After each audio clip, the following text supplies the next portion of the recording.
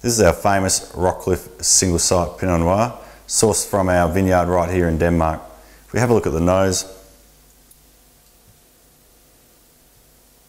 it's got some really lifted, savoury cherries, plums, and a little bit of earthy complex characters to it. If we go and have a look on the palate,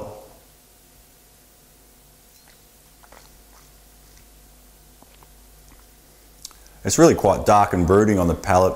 The savoury cherries flow into some really nice complex detail. There's lots of characters. There's lots of earthiness and savouriness.